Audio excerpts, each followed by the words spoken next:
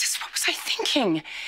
Walt, please, let's both of us stop trying to justify this whole thing and admit you're in danger.